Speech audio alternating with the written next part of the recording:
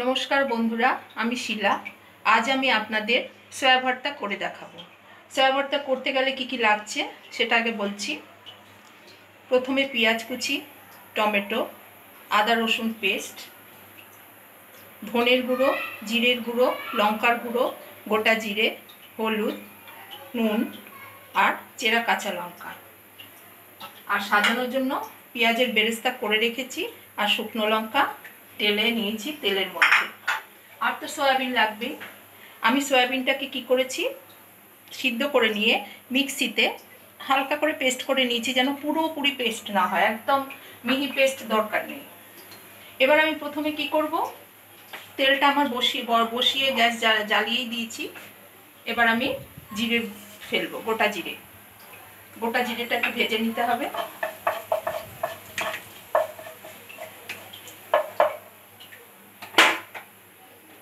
আঁচটা সামান্য মিডিয়াম করে নিলাম।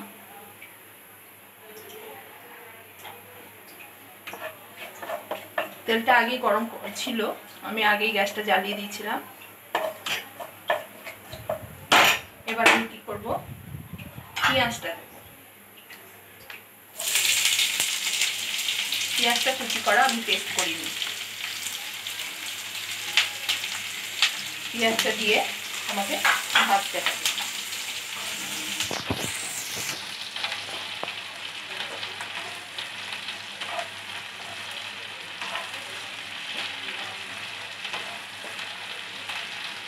পেঁয়াজটা একটু ভাজা ভাজা হয়ে গেলে তারপর আমি আদা রসুনের পেস্টটা দেবো।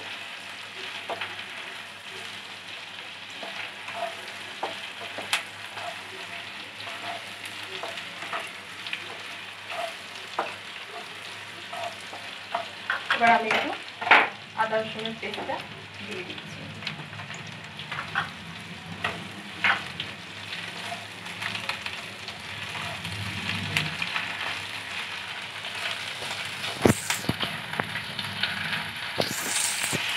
আদা রসুনের কাঁচা গন্ধটা যখন চলে যাবে, বাদ বাকি মশলাগুলো একে একে দিয়ে যাবে।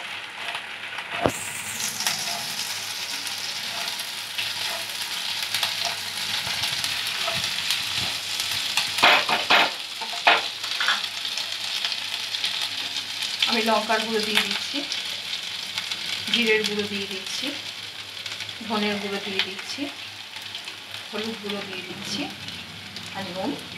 দিয়ে দিলাম। মোটামুটি সব মশলাগুলোই আমি দিয়ে দিলাম। দিয়ে এবার আমাকে কষাতে লাগবে।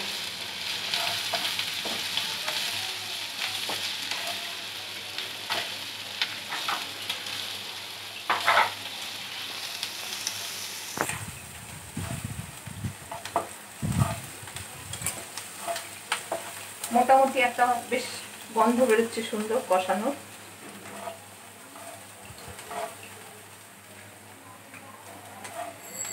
সুন্দর একটা ফ্লেভার বেরিয়েছে, আমি টমেটো কুচিটা দিয়ে দেবো।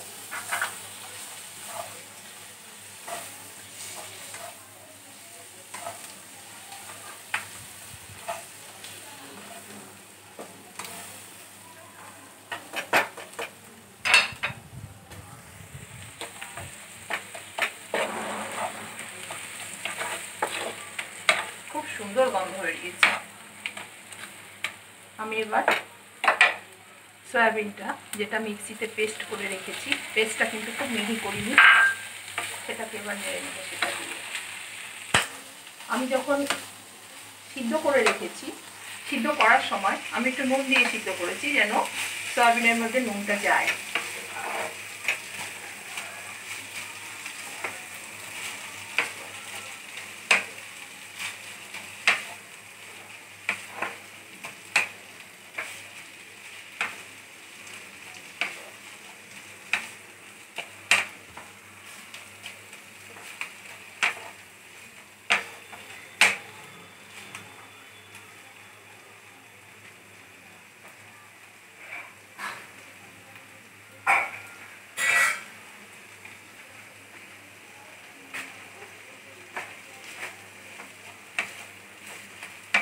আমি সয়াবিনটা যখন সিদ্ধ করেছিলাম, তার জলটা ফেলিনি।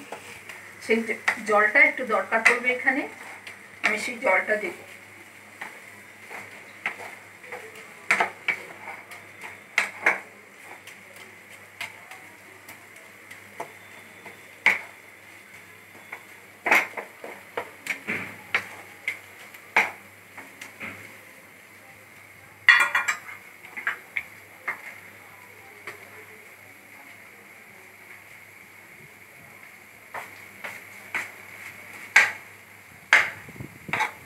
একটু চাপা দিয়ে রাখি। টমেটোটা গলার জন্য।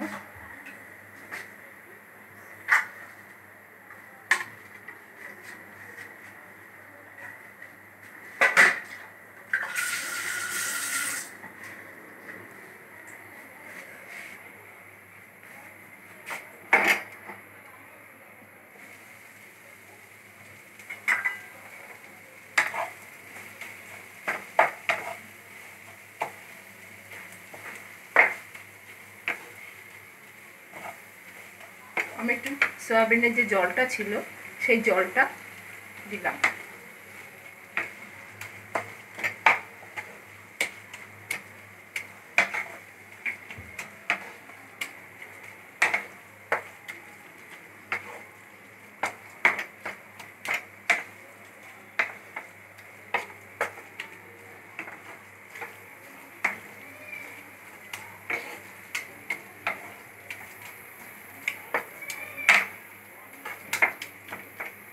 একটু ঢাকা চাপা দিয়ে রাখি তিন মিনিটের জন্য।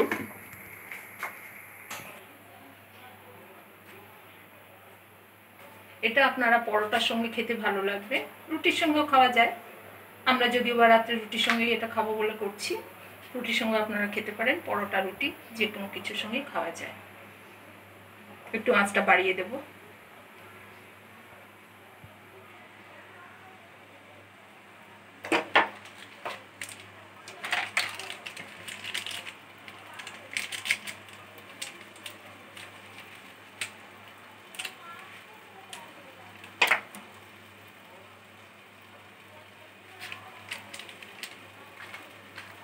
এটার মধ্যে আমি লাস্টে নামানোর আগে শাহি গরম মশলাটা একটু দিয়ে দেব। ফ্লেভারটা খুব ভালো লাগবে।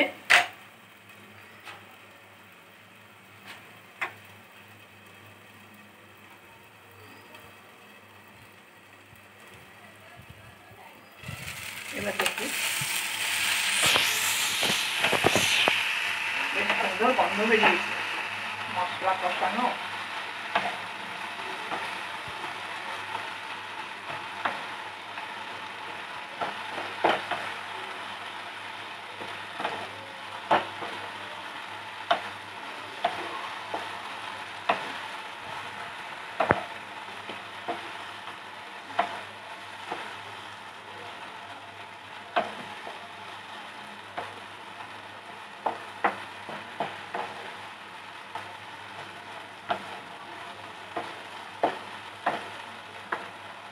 আমি অল্প একটু চিনি দেবো সব কিছুর একটা সামঞ্জস্য আছে।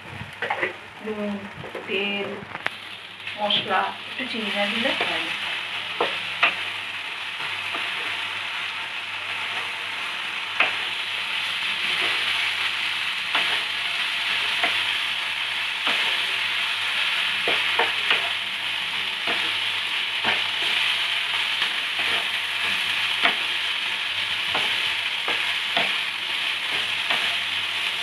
আমার হয়ে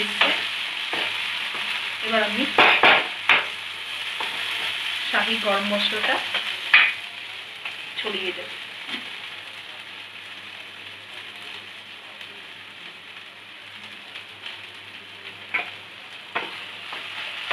একটু নেড়ে দিয়ে এক দু মিনিট একটু ঢাকা দিয়ে রাখলে গরম মশলার ফ্লেভারটা চারিদিকে ছড়িয়ে যাবে।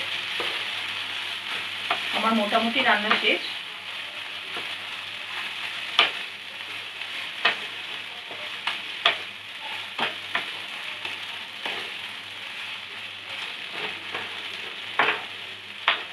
আমি একটু চাপা দিয়ে রাখছি।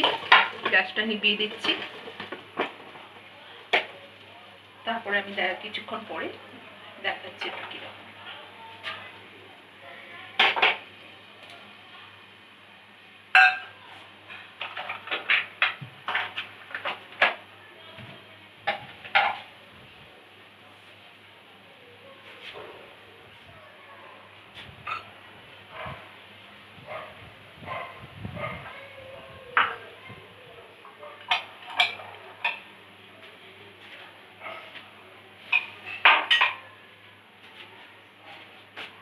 এবার আমি এটাকে নামিয়ে নিচ্ছি।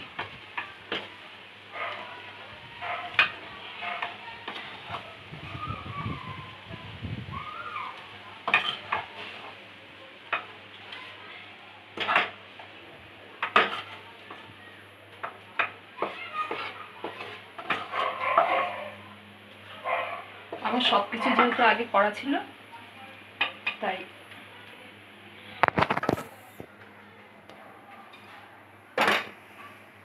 এবার আমি এটাকে পেঁয়াজের বেরেস্তা দিয়ে সাজিয়ে দিচ্ছি। আর দুটো শুকনো লঙ্কা দিয়ে দিচ্ছি। ব্যাস, হয়ে গেল বন্ধুরা আমার সয়া ভর্তা, সয়াবিনের ভর্তা। এটা করে খাও বন্ধুরা, দেখো তোমাদের খুব ভালো লাগবে।